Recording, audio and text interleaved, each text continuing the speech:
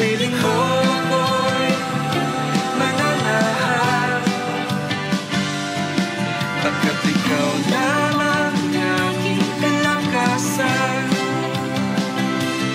Sa piling mo tagumpay ko'y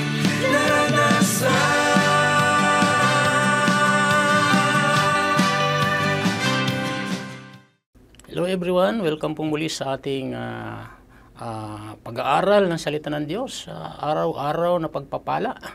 So napakabuti ng Diyos at patuloy niya tayo binibigyan ng opportunity na makapakinig ng kanyang salita. Amen. So tayo muna yung sumandaling yumuko at manalangin. Heavenly Father, we thank you once again this ah, moment, Lord. Patuloy kami nagpupuri. Nagpapasalamat o Diyos sa opportunity na binibigay mo sa amin na kami makapakinig muli na yung salita.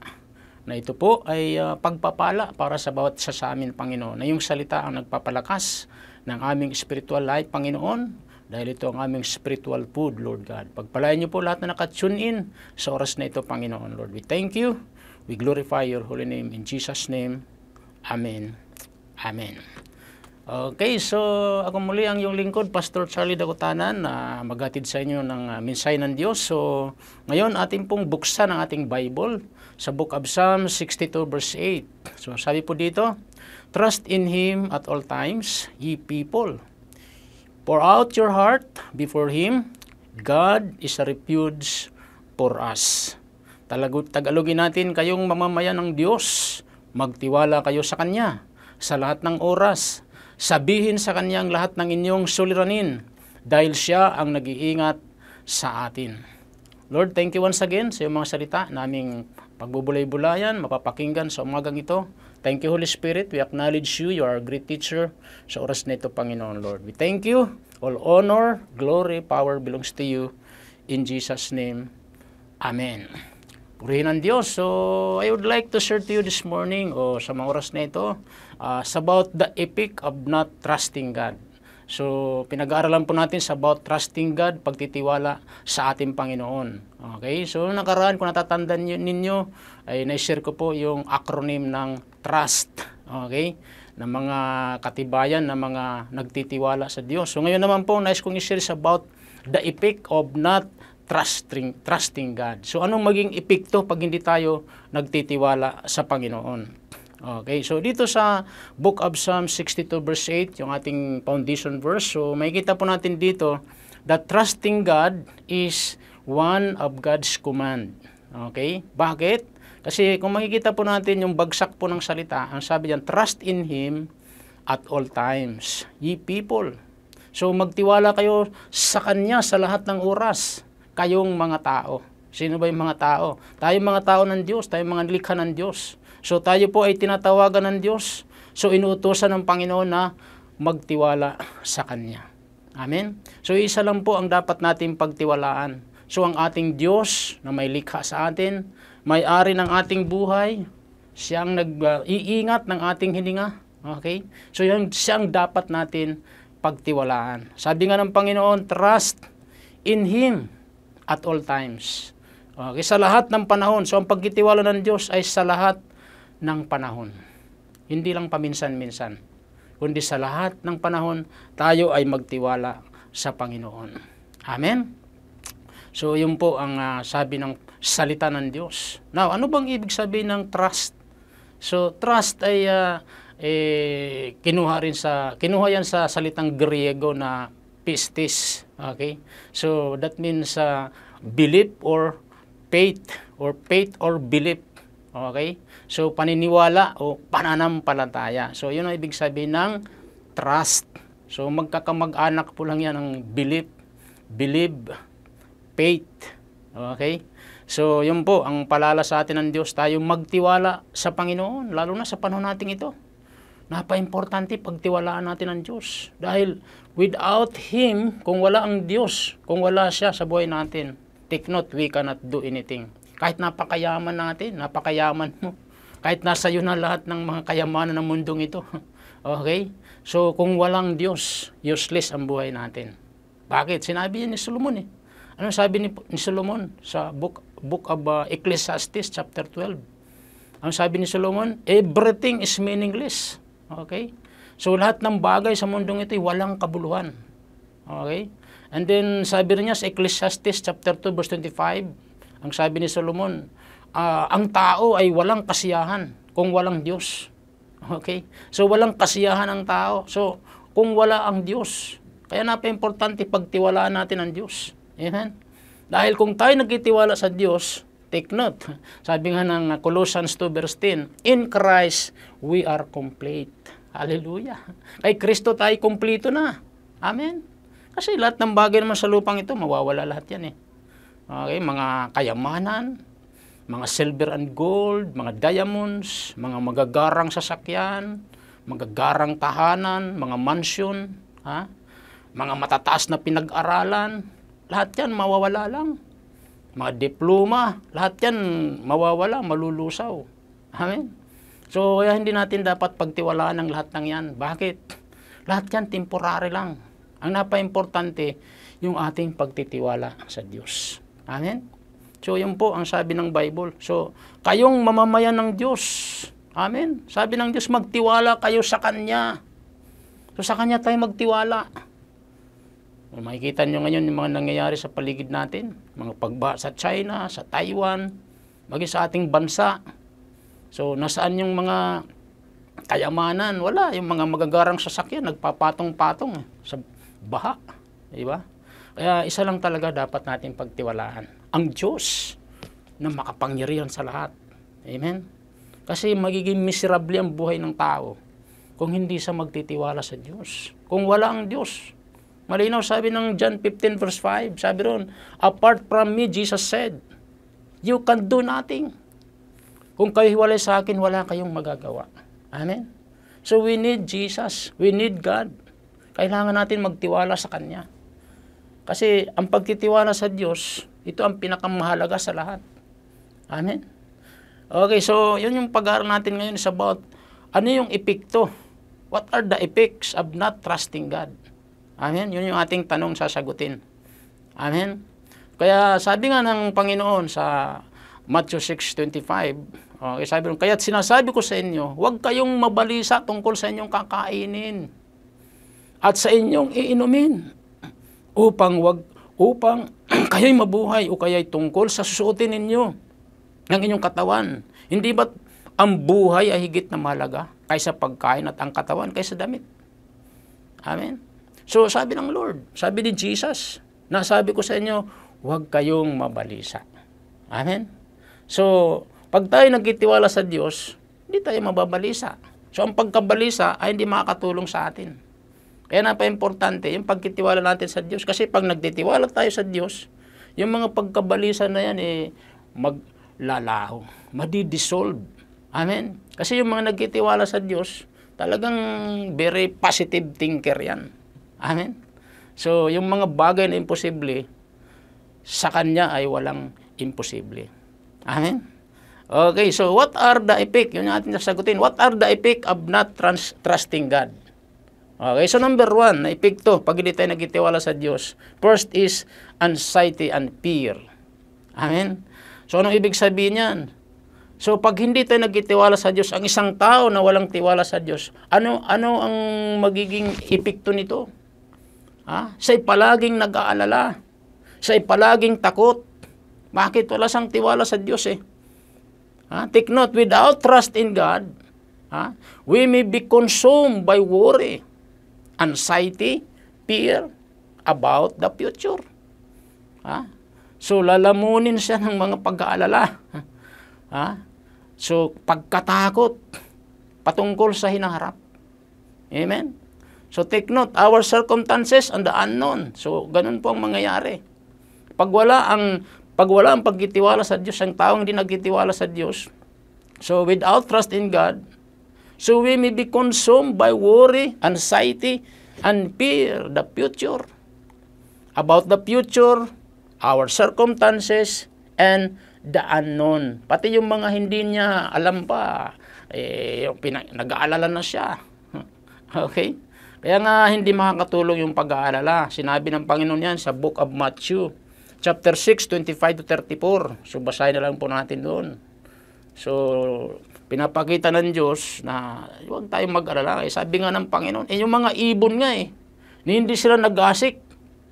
Eh, hindi sila, eh, hin- hindi nga sila nag-aani, sabi roon. Subalit, pinapakain sila ng Diyos. Di ba?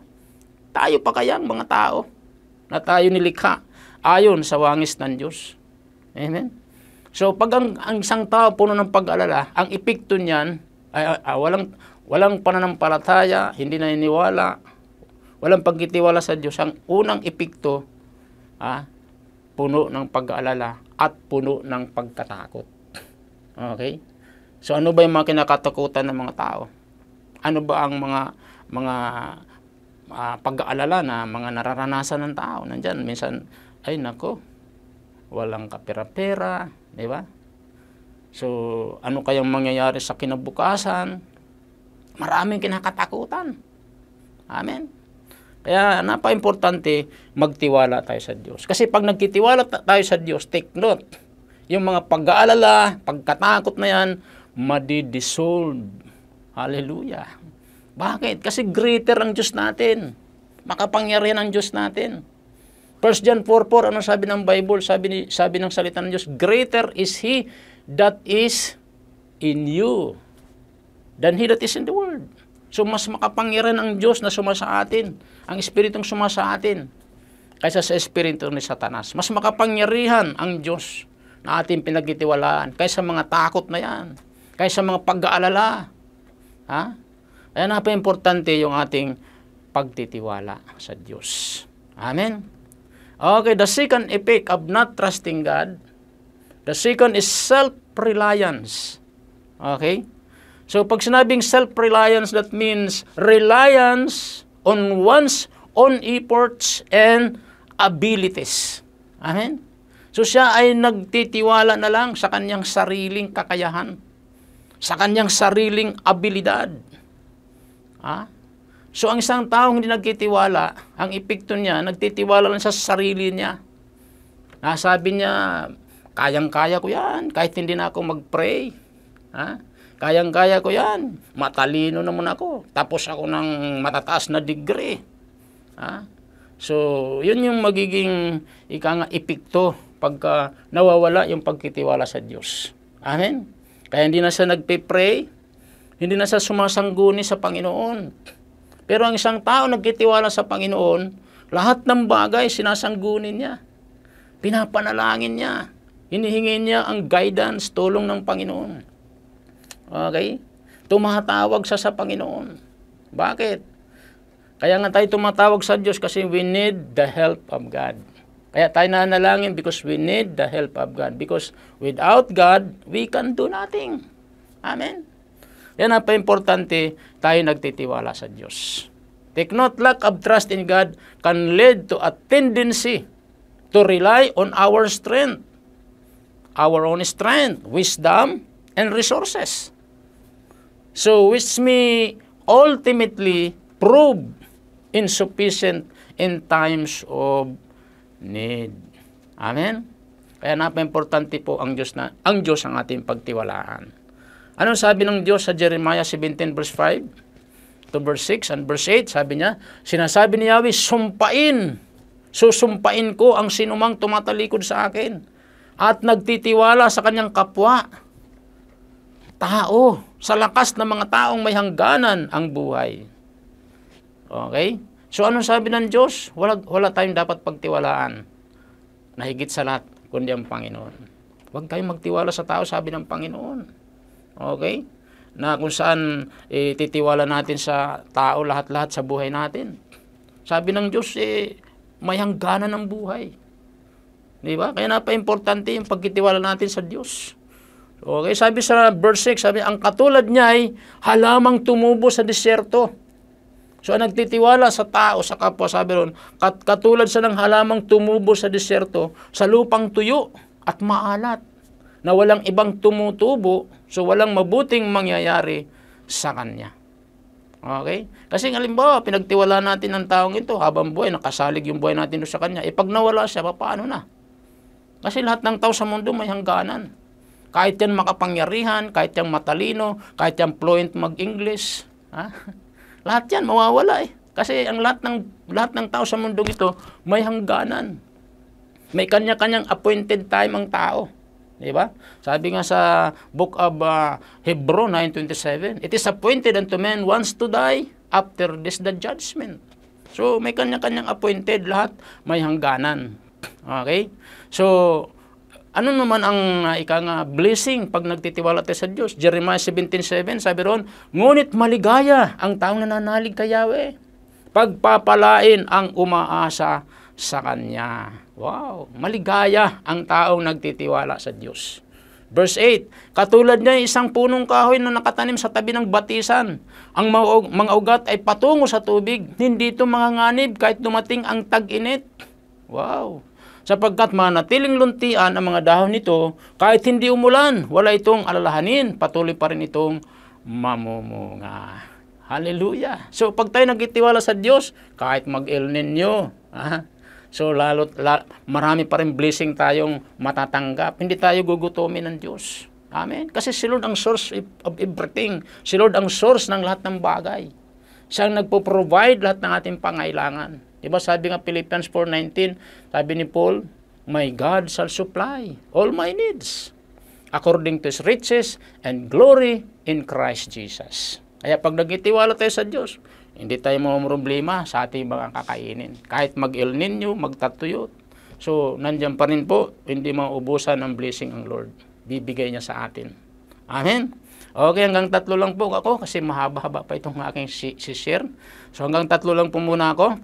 So, what are the effect of not trusting God? Third is poor decision making. So, pag wala tayong tiwala sa Diyos, ang ating mga decision making wala, magiging palpak. Sabi nga, take note, when we don't trust God for guidance and wisdom, so we may make decision based on our limited understanding and desires, uh, leading to potential mistakes and regrets. Okay? So nakabis lang tayo sa ating mga limited understanding pag wala tayong pagkitiwala sa Diyos. Hindi kagaya pag nagkitiwala tayo sa Diyos, yung ating mga decision making perfect magiging successful. Amen? So when we don't trust God for guidance and wisdom, so we may make decision based on our limited understanding and desire. Okay? So ganun ang mangyayari. Kaya nga napaka-importante po yung Proverbs 5 verse o 3 verse 5 to 6 sabi ni, ni, ni Lord, sabi ni Yahweh, sabi niya magtiwala, kay Yahweh kayo magtiwala buong puso at lubusan. Huwag kang mananangan sariling karunungan sa lahat ng iyong gawain, siya, siya nga'y alalahanin upang ikay patnubayan sa iyong mga tatahakin. Huwag mong ipagyabang ang iyong lalaman, igalang mo't sundin si Yahweh at lumayo sa kalikuan. O di ba, linaw? Okay? Pag isinanggunin natin kay Lord lahat ng ating mga ikang uh, decision making, okay, mga lakad natin, ha? papatnubayan tayo ng Panginoon magiging successful ang lahat ng ating gagawin. Amen?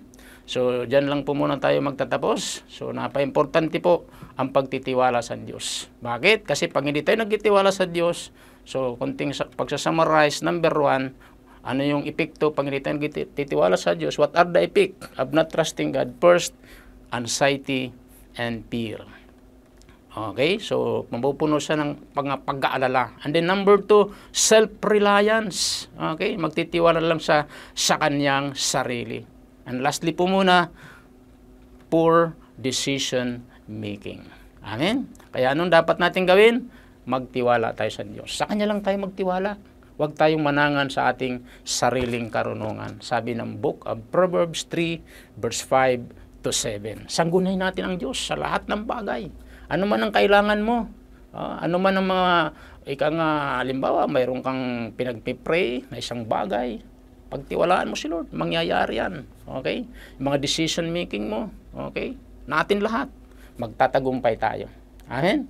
Okay, so ngayon, tanggapin natin si Jesus, pagtiwalaan natin siya. Dahil siya lang ang pag-asa natin. Without Him, we can do nothing. Amen. Tas lang po natin ating dalawang kamay. Sundan natin mixing panalangin na ito. Sabi natin, Panginoong Diyos, na makapangyarihan sa lahat, lumalapit ako sa iyo. Nagpapakumbaba sa iyong harapan. Humihingi ako ng tawad sa lahat ng mga nagawa kong kasalanan. Linisin niyo po ako ng banal na dugo. Binubuksan ko ngayon aking puso, tinatanggap kita, Panginoong Hesus, bilang aking Panginoon at sariling tagapagligtas. Maraming salamat po. Ito aking dalangin. In Jesus' name. Amen. Amen. Ako lang po manalangin, Lord. Thank you sa lahat po ng mga sumabay sa pagtanggap sa iyo. Pagpalain niyo silang lahat. In Jesus' name. Ganon din, Panginoon, ang mga may pangailangan, O Diyos, oras na ito. Nangailangan ng pinansyal, Panginoon, kagalingan, O Diyos, Panginoon, sa anumang uri ng karamdaman. Kayang-kaya mong pagalingin, O Diyos. Lord, salamat po, Panginoon. Tunay kayo lamang ay pagkitiwalaan, O Diyos, sa lahat ng bagay. Yun ang utos mo sa amin, kami magtiwala sa iyo sa lahat ng oras, Panginoon. At kayo ang Diyos, Panginoon, Lord God. Hallelujah, pag-asa ng aming buhay. Kung wala ka sa buhay namin, wala kaming magagawa. Father, we thank you sa mga salita mo namin na pakinggan sa oras na. All honor, glory, power belongs to you in Jesus' name. Amen. Amen. God bless po sa lahat. Bye-bye.